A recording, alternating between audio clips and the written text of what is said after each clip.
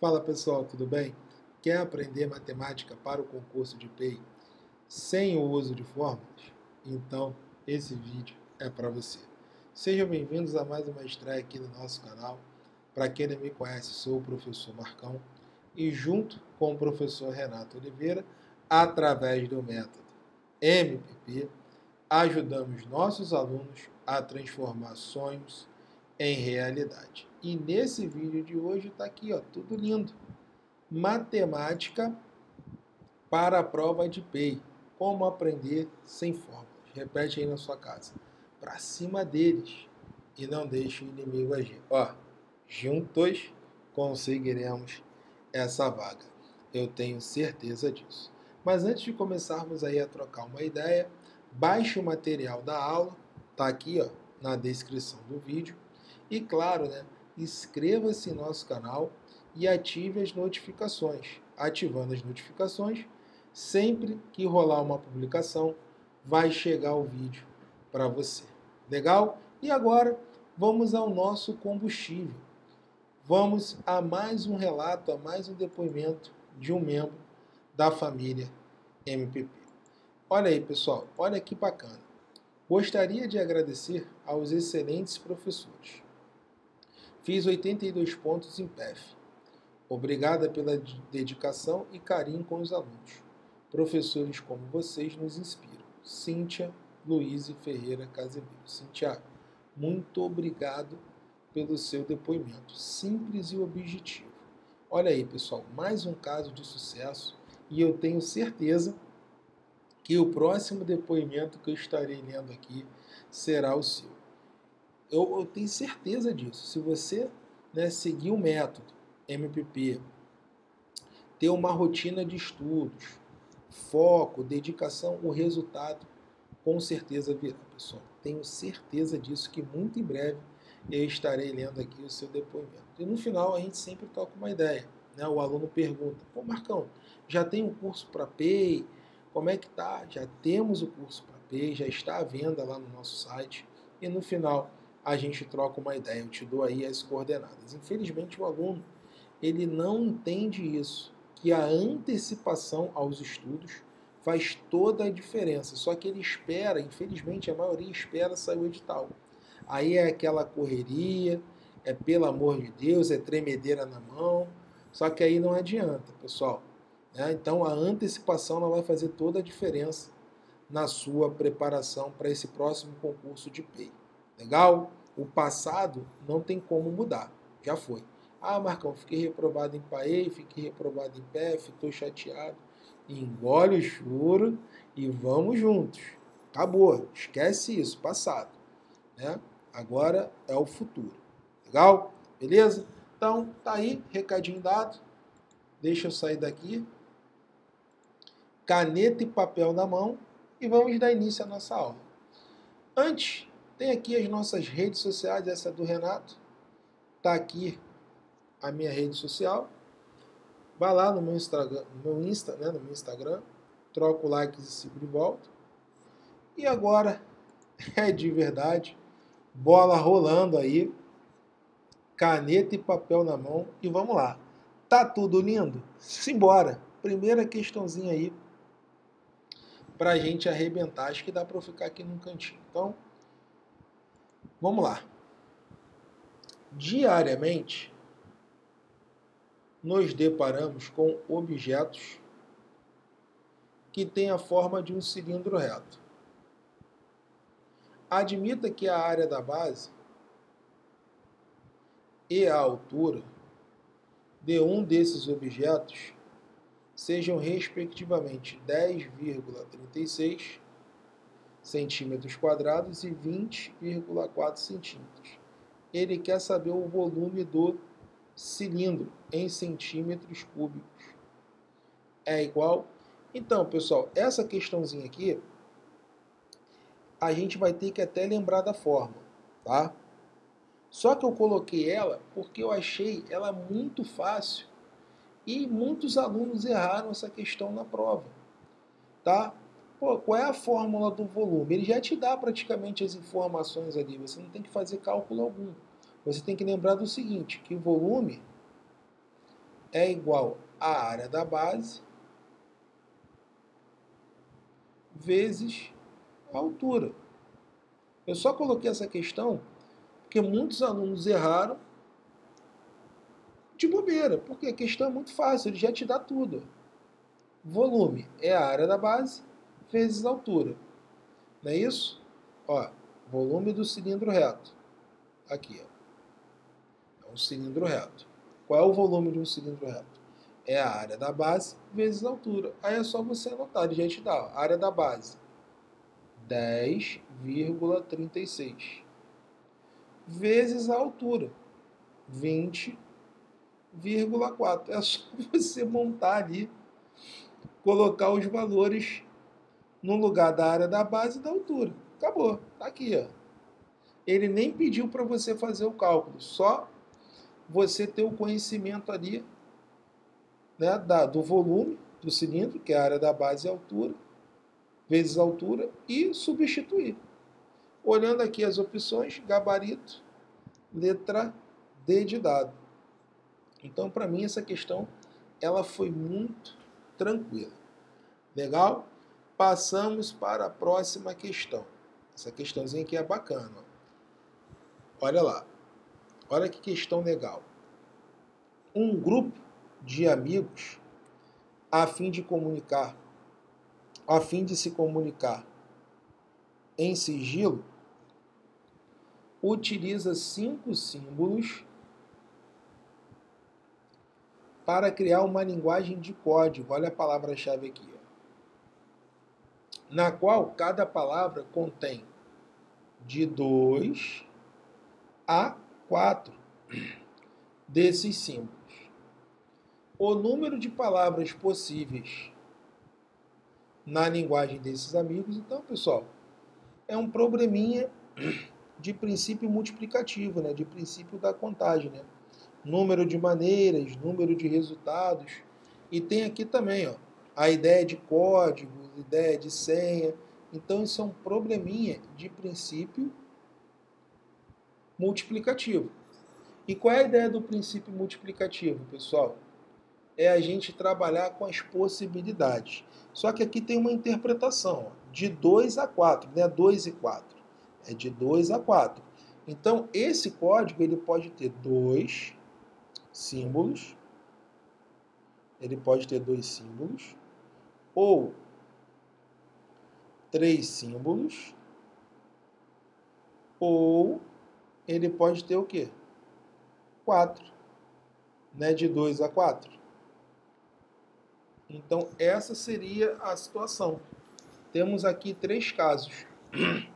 Ele pode ter dois, ou três, ou quatro, porque é de dois a quatro. Aí vamos lá, quantos símbolos existem para criar a linguagem? Cinco. Então vamos lá. Primeiro caso, né, contendo dois símbolos.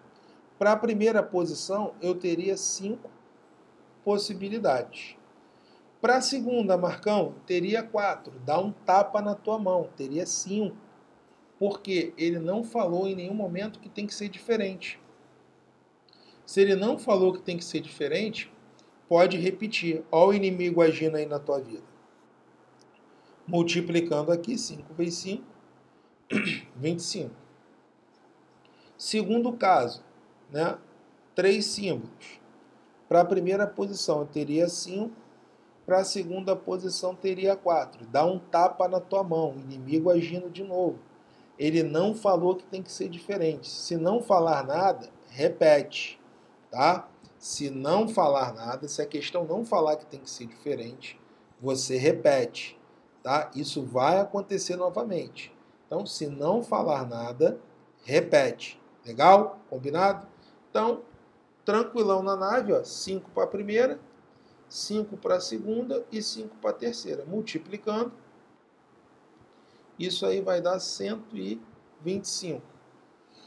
E o último caso, que seria com quatro símbolos, como ele não falou nada, que tem que ser diferente, 5 para a primeira, 5 para a segunda, 5 para a terceira e 5 para a quarta multiplicando, isso aí vai dar 625. Somando esses caras, isso aí vai dar 5 aqui, né? 15 com 1, 2 com 3, 3 com 2, 5, 5 com 2, 7 e 6 mais 1, 7. Vai dar 775 códigos. Gabarito letra C de churrascão da aprovação. Gostaram dessa questão? Bem tranquila, né? Não utilizamos aqui as fórmulas do arranjo, nada disso. Utilizamos apenas o princípio multiplicativo, onde multiplicamos o que? As possibilidades. Lembrando, se a questão não falar nada, que tem que ser diferente, você repete as possibilidades. 5 para o primeiro, 5 para o segundo, 5 para o terceiro e assim sucessivamente. Legal? Simbora para a nossa próxima questãozinha. Tá tudo lindo? Vocês estão gostando aí da nossa aula? Vamos lá. Olha aí a próxima questão, pessoal. Deixa eu sair daqui, porque agora vai cortar aqui a questão. Esse tipo de questão sempre cai nos concursos da Prefeitura do Rio, principalmente na parte da educação, na área da educação, né? Provinha de professor. Então vamos lá. A figura abaixo é formada por seis retângulos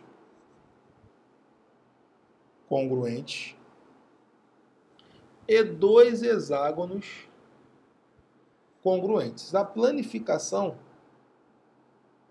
de um sólido geométrico. Então a figura abaixo representa a planificação de um sólido geométrico. Esse sólido é classificado. Pessoal, vamos lá. Qual é o bizu aqui? Se nós fecharmos essa figura, teremos aqui duas bases, né? iguais e paralelas e as faces laterais, não é isso? Teremos aqui as faces laterais. Bases paralelas e faces laterais. Então, se a gente fechar essa figura, teremos aqui duas bases paralelas e seis faces laterais. Pessoal, bases paralelas, duas bases iguais paralelas e seis faces laterais retangulares, isso é, isso é característica de um prisma.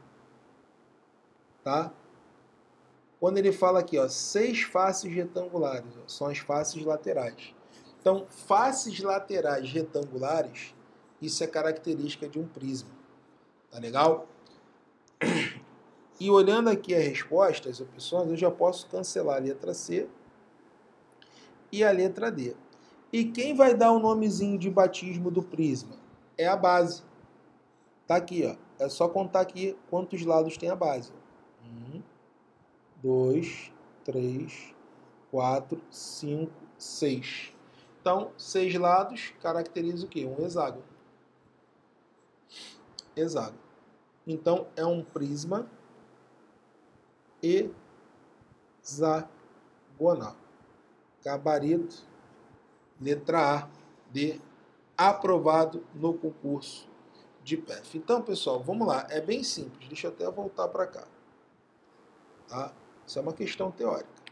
Então, o que, que vai, qual é a diferença né, entre um prisma e uma pirâmide? Primeira coisa, as faces laterais de um prisma são retangulares. E as faces laterais de uma pirâmide são triangulares. Então daí você já elimina. Não tem como ser uma pirâmide. Legal? E outro detalhe. No prisma temos duas bases. Né? A superior é igual à inferior. Como está ali, temos duas bases. E na pirâmide temos uma base só. Então de cara a gente já mata que essa, esse sólido planificado não é uma pirâmide. Por quê? A pirâmide tem apenas uma base e as faces laterais são triangulares. Então não tem como ser uma pirâmide. Então aí sobrou o que para gente? O prisma. Agora, é um prisma hexagonal ou octogonal? Aí eu vou olhar para a base. Quantos lados tem a base? Seis. Se tem seis lados, é um hexágono, então é um prisma hexagonal. Legal? Beleza? Então, simbora aí para a próxima questão. Vamos lá, pessoal. Próxima questãozinha tá aí, ó. É de regra D3. Vamos lá. Olha a questãozinha aí, ó. Para encher 3 quintos de uma caixa d'água, uma torneira levou 6 horas. Nessas mesmas condições, o tempo que essa torneira levará para completar o volume dessa caixa é igual. Então vamos lá, probleminha de regra de 3, né? Vamos lá, 3 quintos, ele leva 6 horas. Agora, se ele encheu 3 quintos, o que, que falta para completar? 2 quintos.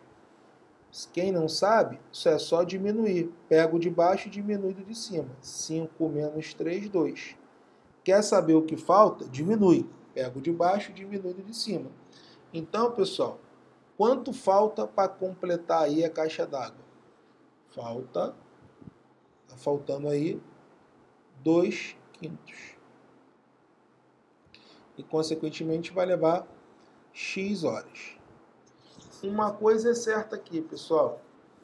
Se eu tenho menos quantidade, com certeza eu vou levar menos tempo. Então aqui é uma regrinha de 3 direta, não é isso? Aí eu vou multiplicar, vai ficar 3x sobre 5 é igual a 2 quintos de 6, né? Eu estou multiplicando, cruzou, multiplicou. Só que aqui eu posso simplificar. Ó, cortar o 5 com 5. Aí ficou fácil. Por quê? Vamos lá. 3x é igual a 12. x vai ser igual a 12 dividido por 3. x vai ser igual a 4. Então ele levou 4 horas para completar o volume da caixa d'água. Gabarito letra A. E essa foi a nossa última questãozinha. Ah, Marcão, eu não acredito. Chegamos aí ao fim de mais um aulão para PEI. Não vamos abandoná-los, né? Estamos juntos nessa caminhada até o fim.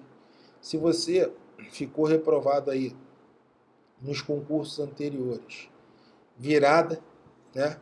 De jogo, virada aí. Vamos virar, esquece isso, né? Porque o passado não tem como mudar, já aconteceu. Engole o choro, enxuga as lágrimas e vamos, ó.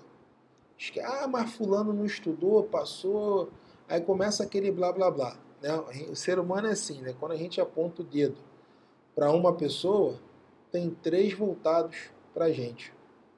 Né? Então o erro é nosso, né? de ninguém. Se a gente não passou, foi por algum erro nosso. A ideia aqui é entender aonde erramos ter humildade, pô, não estudei dessa forma correta, não, pô, não fiz o que o professor falou, pô, saí, enfim, tem aquela questão dos filhos, né, do marido, enfim, você chega em casa cansada, enfim, mas isso aí aconteceu com várias pessoas, entendeu? Você tem que conversar, tem que chegar né, nessa questão do filho, explicar para o esposo, né? Seu marido, que isso aí vai mudar a qualidade de vida da família, vai ter uma estabilidade. Né? E o sofrimento, pessoal, ele não é eterno. Né? O sofrimento ele, não é, ele é passageiro. Só que o cargo é, é permanente, o cargo vai ficar aí e vai mudar a história da sua vida. Então é um, é consenso.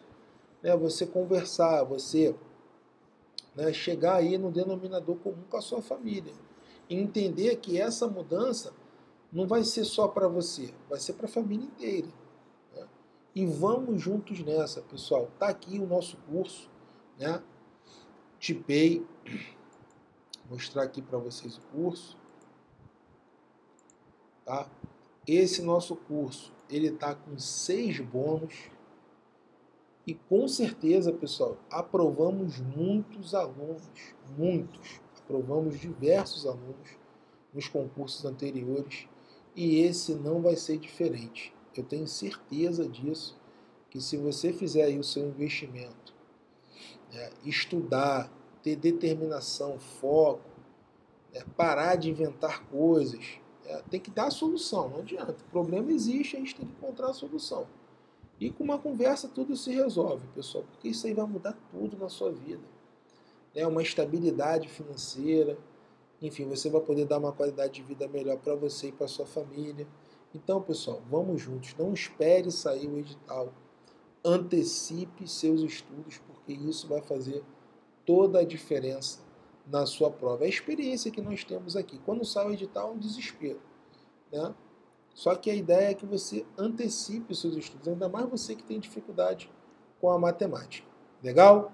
E agora vamos ao nosso depoimento. Depoimento não, até uma, depoimento já fui lá na frente. Vamos à nossa mensagem. E já ia até esquecendo também, estou ficando meio doido. Ah, Marcão, quero comprar, como é que eu faço? Tá tudo aqui na descrição do vídeo, tá, pessoal? Na descrição do vídeo tem o link do curso de Pay, tá? Tem o material da aula, o link do curso.